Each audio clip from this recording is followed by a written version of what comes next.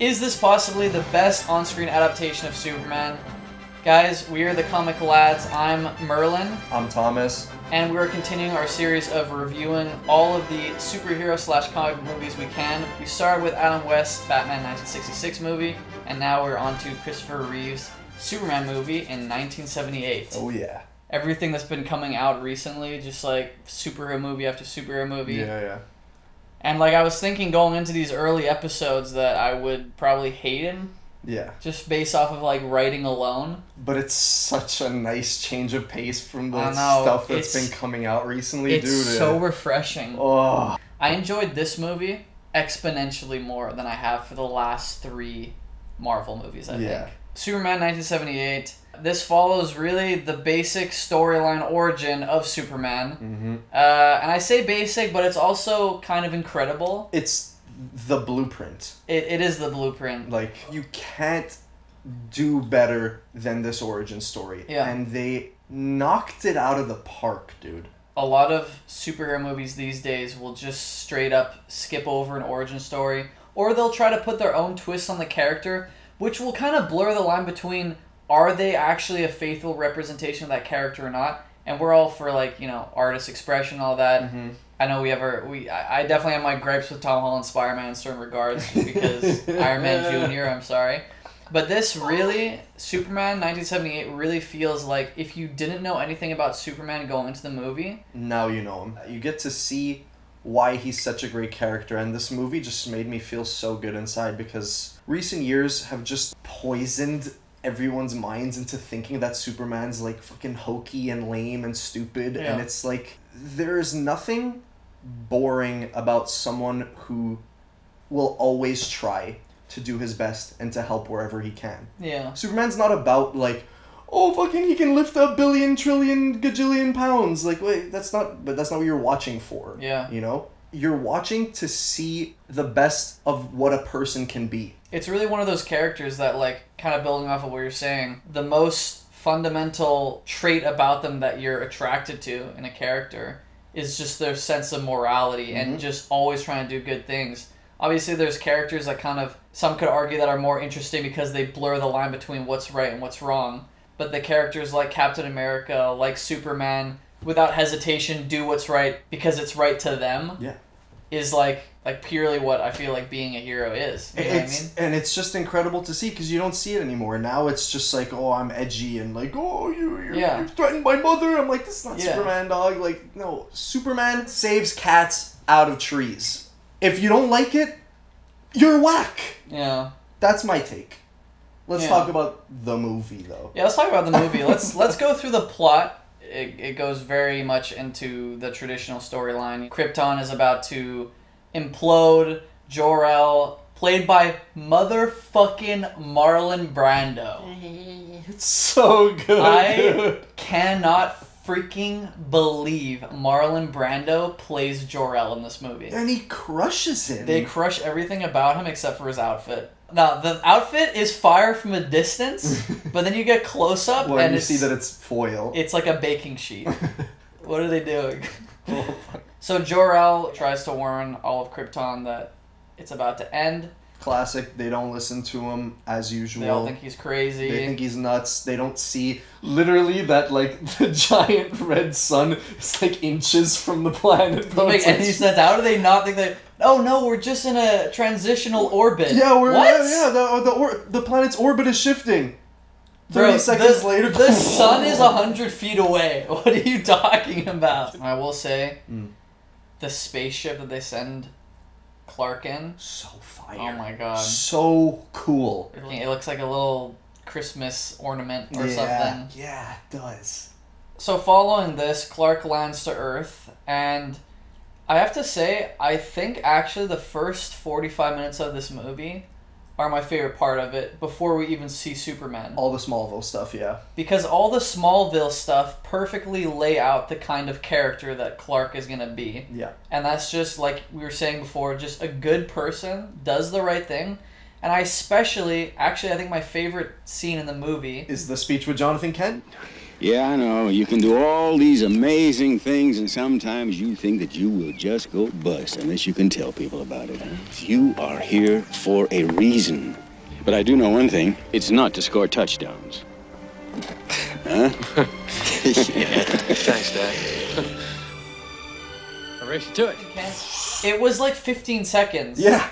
And I was like, I was listening to it, and I was like, yes, they get it. I don't know who the cinematographer was. I do. His name is Geoffrey Unsworth. I looked it up. he was cooking during this movie, but especially in the small This was his shots. last movie, dude. He died in post when they were doing post. Like, It, some of the shots look like a freaking painting. Like, how was this made back then? I it's shot know. better than some of the movies now. I'm like, what drones are you using for these I know. shots? One of the toughest parts in the whole movie is like the inevitable death of Jonathan Kent. Such an incredible, incredible, brutal scene. this isn't a nitpick on the movie. It's more just the origin of Superman. Okay. I do kind of like the iterations where both of them, Of course. you know, Like the cartoon Jonathan and stuff. and Martha are still alive. I agree. And I think that's just because purely we're so used to superhero characters becoming heroes from like tragedy and people Yeah. dying and a father figure or mother figure or both dying. Yes. And I kind of like the idea of Superman is Superman because he is just so good. It doesn't allude to the fact that Jonathan dies that leads to Clark being Superman. Yeah. But the speech he gives him like seconds before he dies, which is like, I know you're meant to do greater things, does kind of make me feel like that's the theme they're pulling us toward. Absolutely. And a part of me is like, damn, I would have been sick to just see him like happy with both of his parents, you know what I mean, while still doing the good thing. I, I agree, man. I, I really do prefer it when they don't like saddle Jonathan Kent with the heart attack and they let him Yeah. like in certain continuities stay alive. Yeah. It's tough. It's tough. After Jonathan Kent has his heart attack, we never see Martha for the rest of the movie. Yeah. Which is kind of like kind of whack. okay, like they literally just say goodbye to each other. Clark disappears for 13 years in the Fortress of Solitude. Oh my And god. then, like, and then comes to Metropolis. yeah. So I don't know. He he goes to the fortress, studies how to be Superman for like 12, 13 years, and then rejoins humanity. How was he not insane, dude? I don't know, bro. He's been talking to a floating Marlon Brando head for the last 12 years. like, dude should be fucking punching the air right now. But it's okay when he gets to um, Metropolis. The heart of the story does shift from the Kents to his love interest with Lois Lane, Yeah. which is great, It's amazing. but raunchy. What color underwear am I wearing? Pink. Oh my god, like I get it. It was a little bit too horny for me though. Like Mm-hmm. well, some of the it's things just, they you can just like tell that Christopher Reeve and Margot Kidder were so down. Like it's scary. Do you know what it is that you do to me? Can you picture the things I'm thinking of? Chemistry. like undoubtable chemistry. Oh yeah.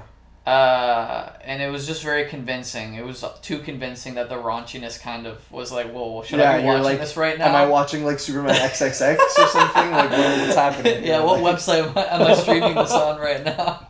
All right, I guess it's time to talk about Lex Luthor, who I was like, I was excited to see because everybody, I feel like everybody talks up Gene Hackman as Lex Luthor.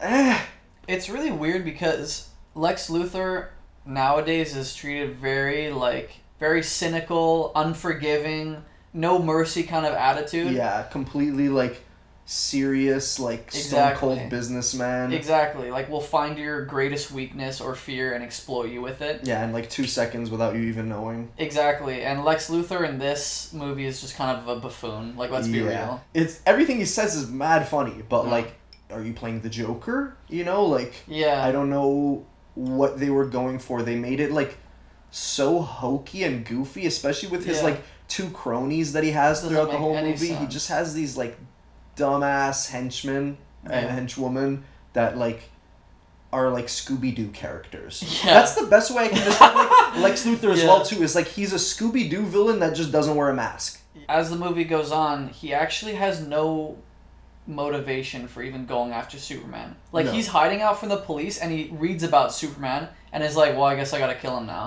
and it's like, "Wait, what what are you talking about? Like he hasn't done anything to you. Mhm. We do get one really freaking cool scene with him where that you pointed out is very Lex Luthor from what we know now and in the comics, where he hijacks a frequency Oh, reach- dude! to reach Superman. So Clark is just chilling in the Daily Planet, and suddenly he oh. There's like this ear-piercing sound, and you see these dogs start to like lose it all over the city, yeah, and like, and Lex Luthor is talking directly to him and basically saying like, "Hey, and like you're the only person on Earth like that's not a dog that can hear this. Exactly. So like this is the only way I can talk to you. Yeah.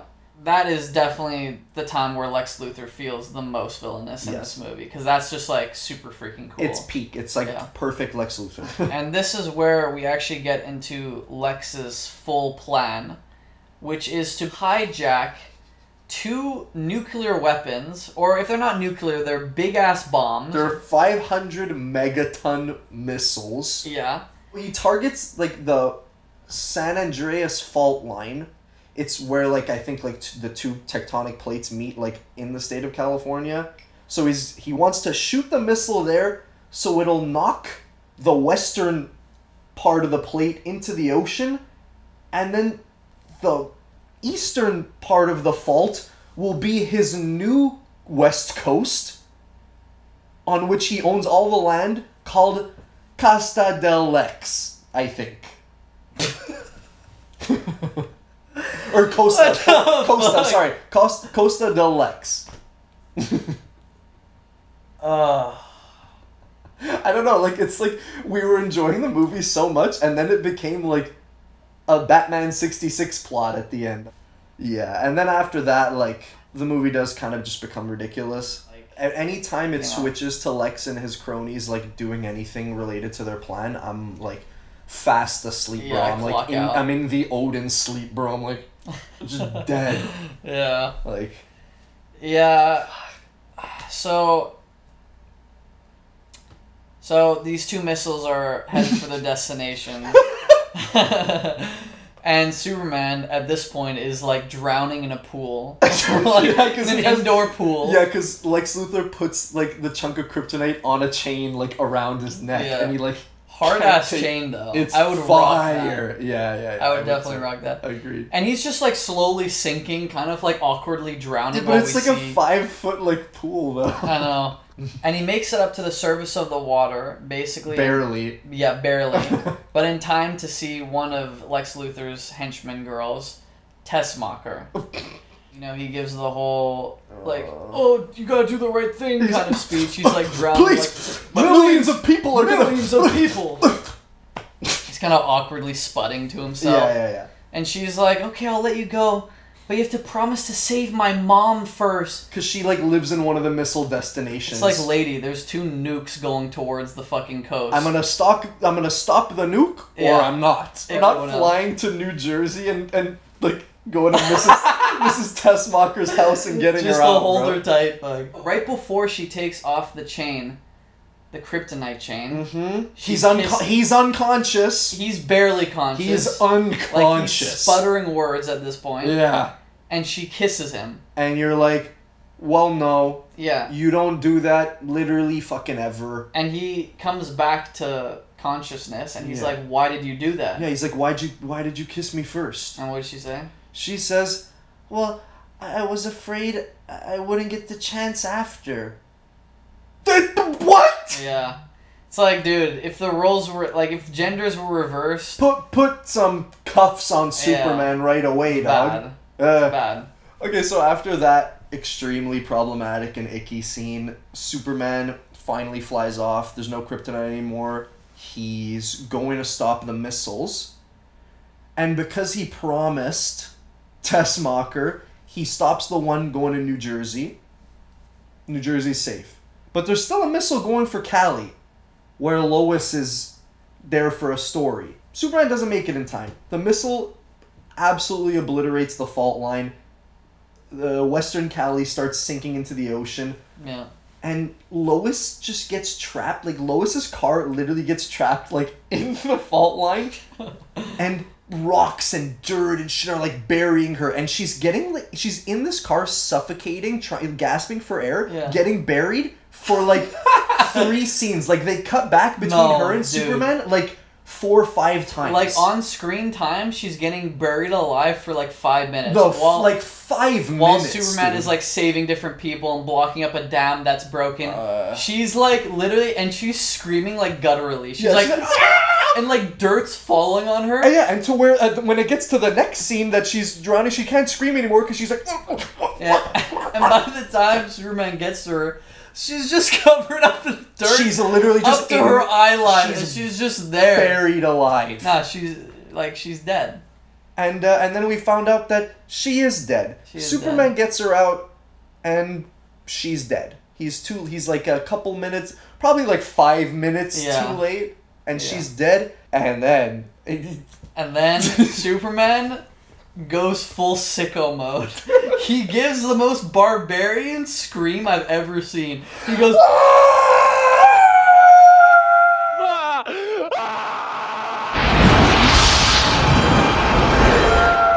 and flies up into the atmosphere.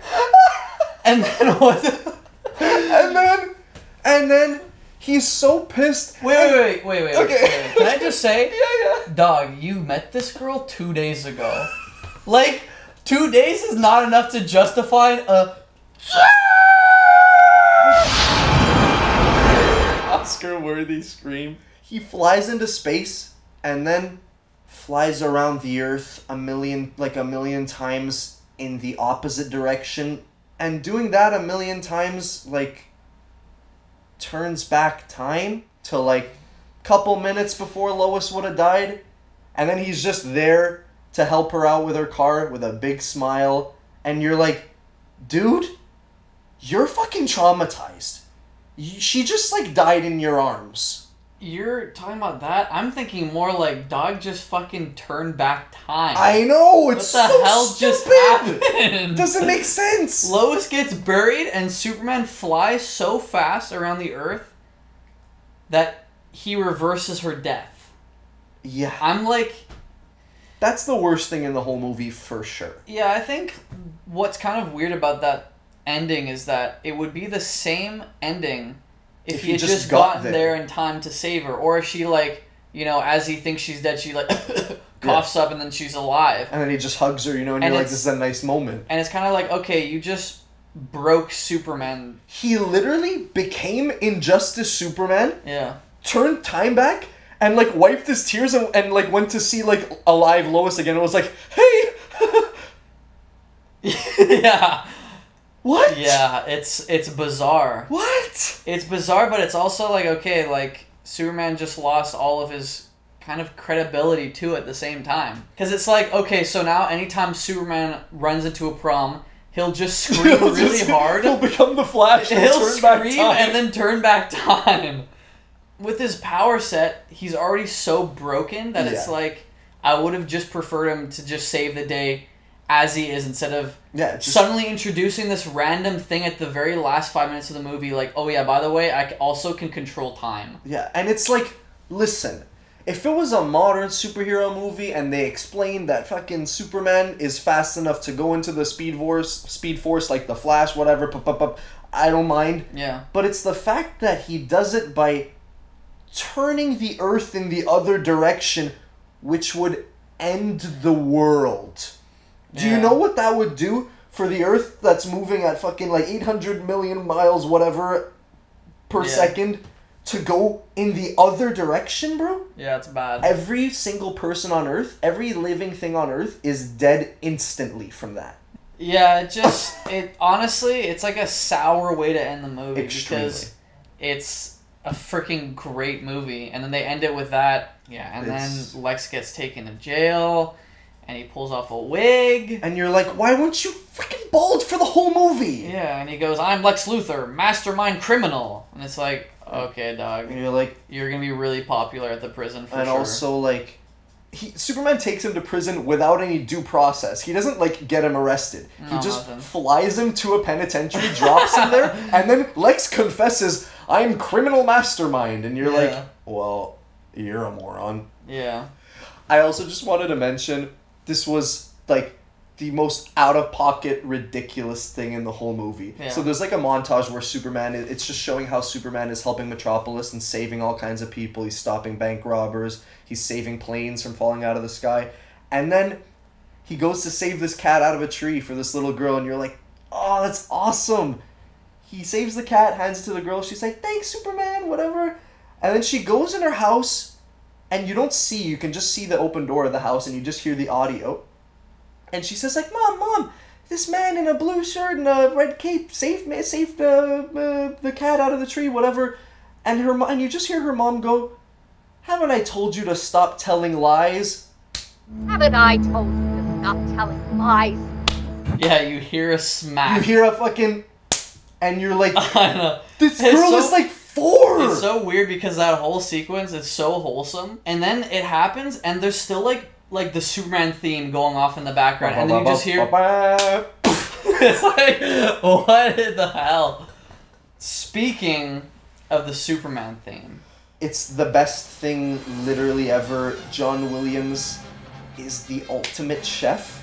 Uh, yeah, sorry, James Gunn. Like you're either gonna have to ask John Williams to make another one, or just like use this one yeah, because it's perfect. it is It makes me flawless. it makes me smile. yeah. That's all. That's all you can say about it. It makes Yeah. me smile. It, makes, me. smile. It makes me feel happy. Yeah. One of the great thing about Superman's character is the difference in how he is as Superman versus how he is as Clark Kent. Yeah.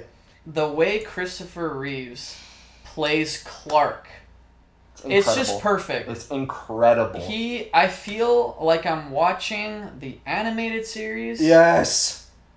and he just perfectly has that awkward stumbling around doesn't know how to talk to women doesn't know how to even get into an elevator properly That's fucking Superman, dude. yeah It's Superman to a T. yeah if man of steel's henry cavill had more of that we'll talk about it more when we get to that review Yeah, it's not Henry Cavill's fault. It's the fault of it's the not writer. not and, at all and- henry cavill's yeah. amazing Yeah, he is. visually he's a perfect superman He is. and in talent he's amazingly talented Mhm. but it's that that aspect that really brings Superman back to Earth. If the whole movie was just Clark Kent in the Superman fit, interacting with Lois, yeah, sure, it might be enjoyable, but it's missing that human element that just brings it all back down to Earth and just makes you like genuinely smile and care for the character.